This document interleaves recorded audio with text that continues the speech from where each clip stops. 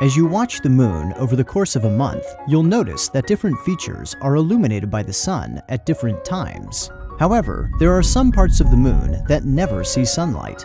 These areas are called permanently shadowed regions, and they appear dark because unlike on the Earth, the axis of the moon is nearly perpendicular to the direction of the sun's light. The result is that the bottoms of certain craters, like here at the moon's south pole, are never pointed toward the sun, with some remaining dark for over 2 billion years. However, thanks to new data from NASA's Lunar Reconnaissance Orbiter, we can now see into these dark craters in incredible detail. Seeing the shape of the crater is important, and LRO has used its LOLA instrument to make the best yet topographical maps of these craters by reflecting lasers off the lunar surface. This has allowed us to see the shapes of the crater's interiors from any angle, and by making 3D models, we can light up the crater floors as if we had a giant flashlight. And although the sun never illuminates these craters, other stars still cast a faint light into the permanent shadows.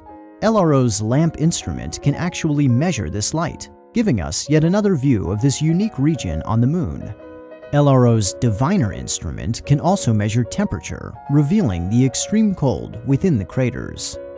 Finally, LRO's LEND instrument can measure the speed of neutrons to detect elements like hydrogen in the lunar soil. So, while there are some areas on the moon that never see the light of day, LRO will keep collecting data so that we can learn more about them. And as we continue to study the moon, we'll improve our understanding of Earth's original satellite and, pun fully intended, bring new discoveries to light.